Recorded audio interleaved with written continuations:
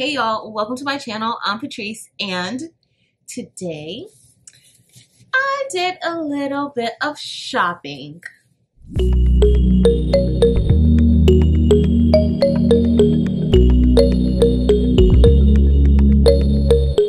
All right, y'all, if this is your first time here, I love finding different things to sublimate. And usually you can find me inside of all of my local Five Belows, looking through tags to see what inside of Five Below is full of polyester.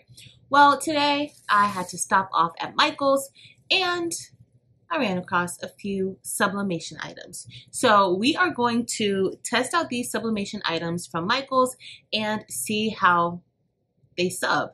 Also, Inspire Me Custom Tees and Things sent me some of their sublimation paper to sample. So I will be testing the paper also, in addition to seeing what this stuff from Michaels is all about. Let's get started. All right, y'all. So let's first take a look at the paper, and this is from Inspire Me Custom Tees and Things. I will have a link in the description. All right, so here is the paper, and so of course this has to be the side that you you print onto. So we are going to test this out, y'all. All right, so let's see what's in our bag. And y'all, this is just a hat. Um, they come in different colors. This isn't anything new inside of Michael's, but I did want to let y'all know that you can sub onto these hats. And this is a it is 80% polyester, 20% cotton. So that is enough polyester to get some ink onto it. Also, these bags aren't new, but these too can be subbed onto. These are 100% polyester and these are the drawstrings. Now I've subbed on several of the totes before that they have. Imagine has those totes, but these are Art Minds and they are 100% polyester. I've had these for a while and I have not subbed onto them. So of course with the red, you may want to sub something a little bit darker. Here is the stuff that I ran into today. So they have these Gildan shirts and it says that they are for sublimation and they are soft and y'all they are actually very very soft. All right so this is a shirt that i am just going to be testing out. It says Gildan performance. They are 100% polyester and i can't wait to try this out to see how this subs. All right. So Michaels does have a brand of their own sublimation shirts, but um, my Michaels, well, the one that I went to today didn't have it. So I want to check some other local Michaels to see if they have it. So this is a tumbler that bulges. So if you get these tumblers, just know that this particular tumbler, you will not be able to do an all over wrap of this tumbler. So you may want to put something in the center.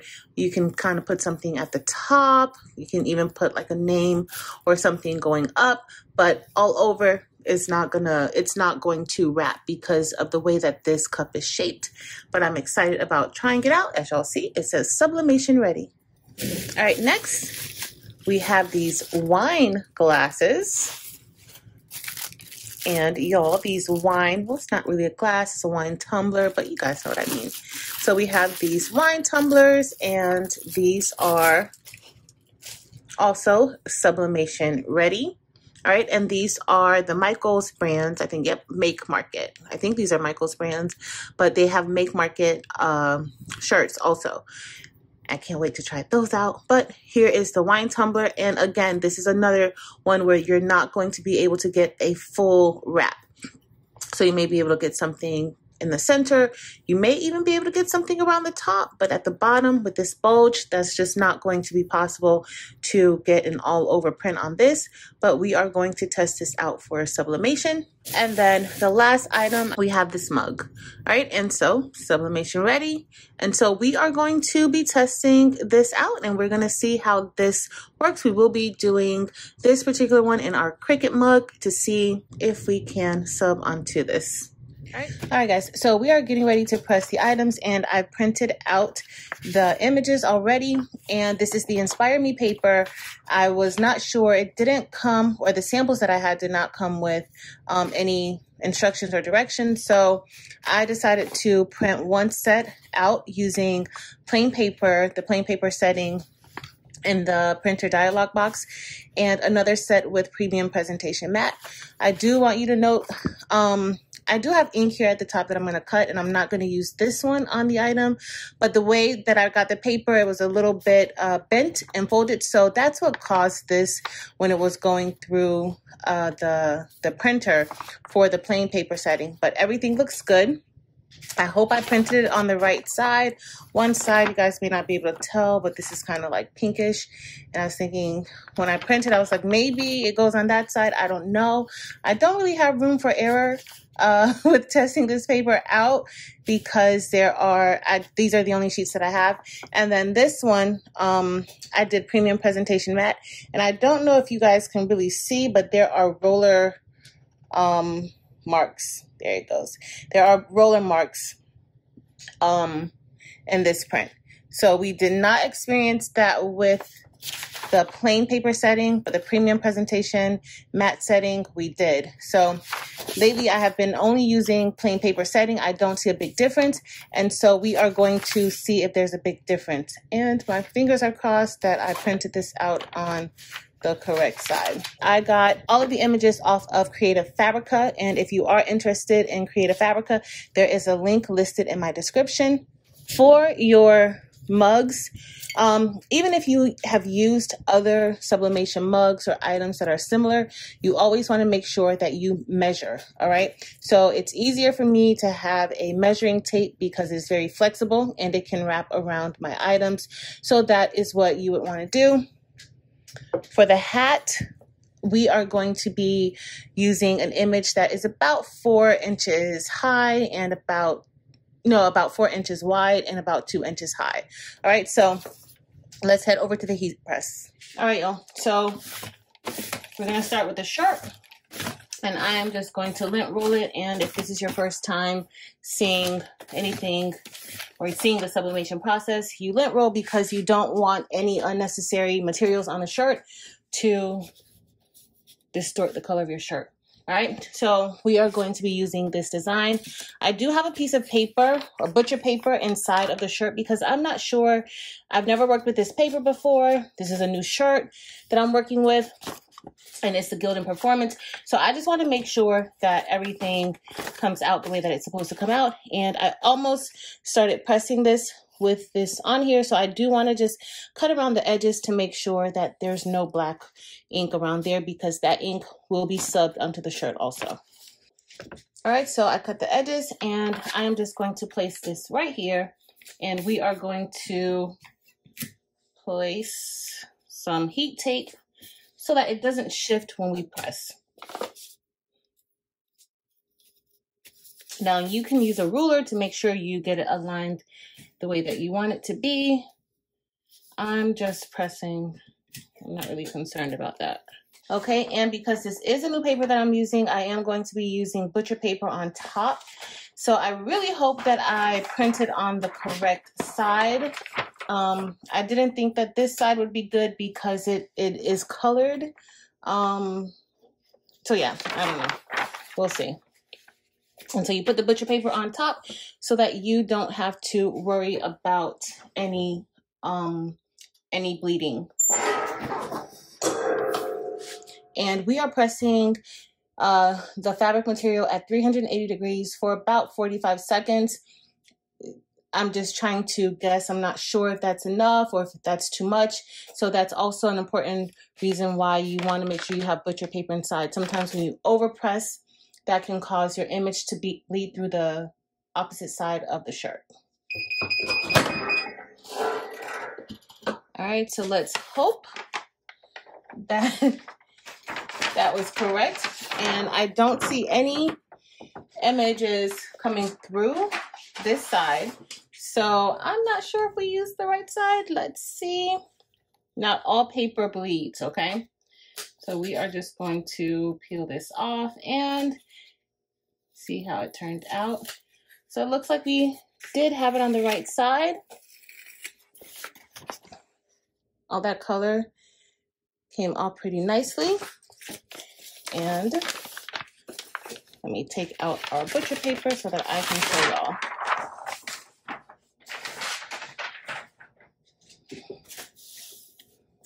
All right, and this is our shirt. And this is the premium presentation matte setting. All right, so it looks pretty good. All right, let's move to the bag. So now we are going to get ready to press this bag, and this is 100% polyester. I am going to give it a pre-press just to kind of smoothen it out a bit. And y'all, I'm not really sure about these cords because sometimes these cords don't do well underneath the press. but we will see. And so let's see how they feel. Mm, they feel okay. I may try to do something like this I'm just putting the straps around like that. Here is the image that we're going to be using and this is a uh, this is the plain paper setting. All right, so the same process. We are just going to place this right here in the center and we will be taping it down with heat tape. I'm to put my butcher paper and we are pressing this the same.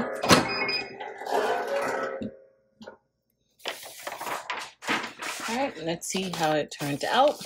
And I got just undo that.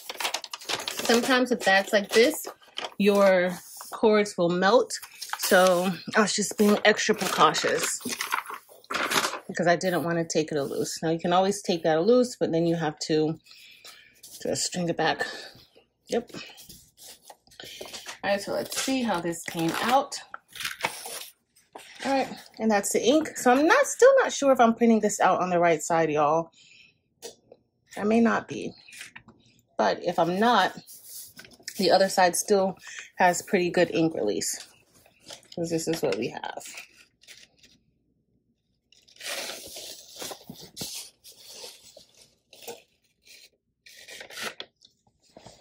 So now I'm just speeding this up and we are going to get ready to press the red bag. I'm doing the exact same steps as I did with the white one.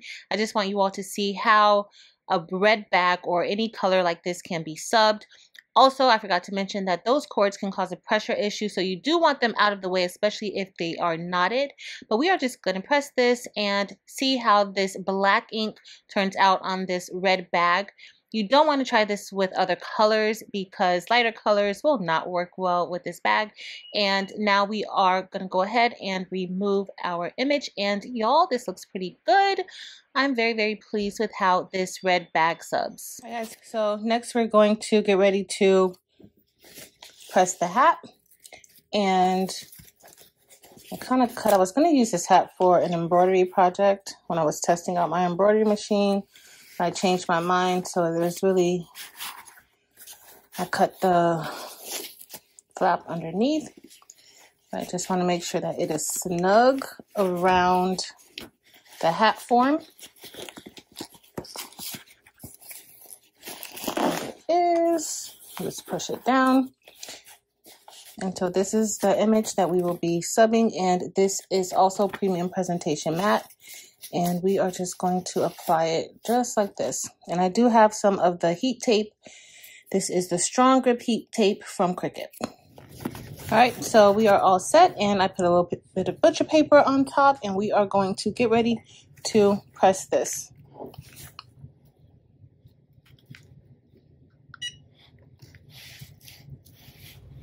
All right, so let's go ahead and remove the butcher paper. As I was doing it, I don't think I had it flat enough or maybe these hats really just aren't good enough or good for maybe these hats aren't really good for um sublimation or I don't know. I have to see because it kind of buckled right here. So let's go ahead and remove it and Okay, so the paper looks good. Looks like I might have overdid it. but that area where we had that buckling of the hat, it kind of like went in a little bit. And I've had other issues with subbing these hats. Like, look, this is hard. So it's possible that the heat from the sublimation may be a little bit too much um, for this area of the hat because of the backing that's right here. So that's what I'm thinking because now it's it's kind of hard. So maybe it's not necessarily for sublimation, the hat, but it actually, it doesn't look too bad. I'll have to put it on to see if I can like stretch that out. All right, so next we are going to, or we will be pressing this mug. And as y'all see, I wanted two different sides, but the paper wasn't really straight. So when it went through the printer, it curled up even more. And so it kind of caused a little bit of disfiguration there. So I'm only going to use one side and I am going to make sure that I cut that edge off.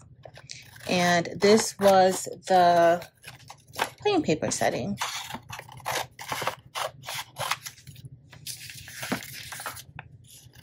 Let me go ahead and cut this off for the wine tumbler.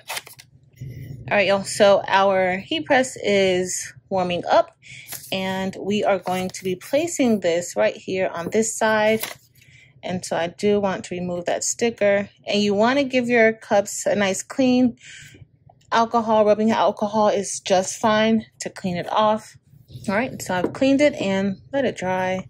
And so we are just going to be placing this right here on the front. And I need to remove that bottom. How do you guys think the bottom would sub? I may have to try it out. All right, so we are just going to put this here. I'm going to get some heat tape and we will apply the heat tape so that this does not move. And I'm also going to cover it with some butcher paper. All right, that's all I'm going to use. I am just going to go ahead and place this here and you have to be careful with the wine tumblers because it also bulges. So just gotta be careful with that. And I am going to do the same thing and apply my heat tape. I am going to tape around this a little bit better because this is just going in the convection oven. So I don't want that to be distorted. And now we are going to place the image onto this one. And this one is the same thing. I could have probably used a bigger image. I could have because it looks like it kind of works a little bit better. So some of them, the bulge is a little like more centered. The bulge seems to be like here in that area. Like, so it kind of just has like a sharp taper here and then here. So I could have made the image a little bit bigger. All right, I do have another of these cups so I can uh, do a little more practicing with it. But this is my very first time using any of these items from Michaels, except those drawstring bags. And so I'll probably use the same cup to practice on a little bit.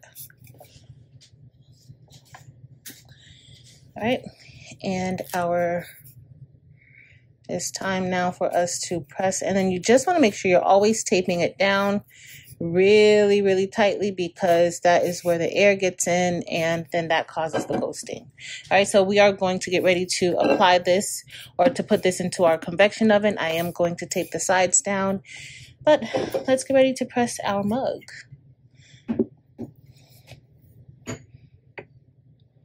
All right, and so we're just going to go ahead kind of want that centered a little bit. I'm going to push this down and we will wait. So our mug is done and you want to make sure you have on some heat gloves because that mug is going to be super, super hot. And so now we are just going to go ahead and remove the wrapping off of the mug and y'all be careful when scratching or trying to peel off the tape. You don't want to scratch off the coating. But I must say that while I was peeling off the tape, nothing came off. None of the coating came off. So these mugs seem to be very, very good quality. All right, y'all. So that looks pretty good. I had something on my paper. That is what that is from. The edge of the paper must have had ink on it and ink somewhere on there and I did not see it. So I always cut close to your image. But y'all, this looks pretty good. All right, y'all. So let's see how this went. I put this in to my convection oven for about four minutes at 385 degrees because I did not know the timing. No, that's something else. I was about to say, don't tell me I had another edge, but that is something else. So let's see how this comes out.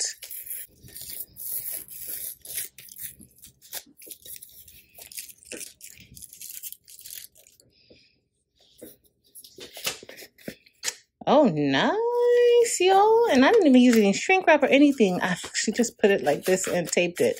I didn't want you guys to see it, see me do that because I wouldn't recommend doing it that way. But this turned out really nicely, Michaels. Looks really nice. I should have had it on the other side, but that came out really, really nicely. All right, so let's see how this one, if I had any, if I had a good press on this one. I think I had a little air there, but hopefully not. And please don't do it this way at home. You want to tape it down, use shrink wrap. And if you're new, definitely don't do it. I have videos showing exactly how to make these in your convection oven. Let's see. Let's see, that kind of blurred a little bit right there, but I knew it was going to do it right there. So for the most part, it's nice and y'all, it actually subs really, really good. It subs really, really good. And this happens when you have air coming through your image. And so I didn't have that taped down that well. So that's what happened. This, I don't know what that's from, but pretty nice. Pretty nice. So we're all done and everything turned out beautifully for the most part. I enjoyed subbing these items from Michaels and our test worked wonderful. The hat is still very sketchy, y'all. I'm not sure. I've used the hat several times and I have not had impressive results with it. Also, for inspiring me sublimation Tees and things sublimation paper, I am very impressed. I don't think you need butcher paper for this particular paper. I would have loved to have the print settings uh, for different items and substrates. However, my regular settings work perfect with this paper. The items turned out beautifully. As y'all see, that red bag subbed that black really nicely. And the tumblers they came out amazing. Just like any other tumbler that I have used, I am very, very pleased with the items from Michaels. But that's going to be it for today, y'all. If you enjoyed this video, be sure to give it a thumbs up. Also, hit that subscribe button. Join me on Facebook, TikTok, and Instagram. I would love to have you there. But this has been fun. I love y'all. Thanks for watching this haul. And until next time, y'all.